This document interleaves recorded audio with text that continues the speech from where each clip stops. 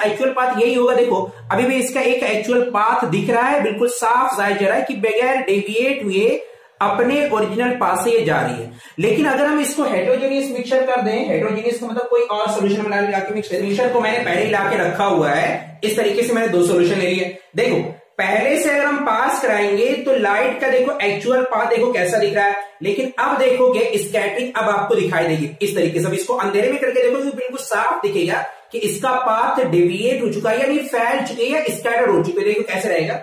ए light को पानी से पास कराते तो देखो बिल्कुल एक एग्जैक्ट पाथ बिल्कुल सीधा सीधा दिख रहा है, कोई स्कैटिंग इसमें नहीं हो रही है। लेकिन अगर हम एक हेट्रोजीनियस मिक्सचर लेते हैं तो अब देखो आपका पाथ कैसा हो जा रहा है।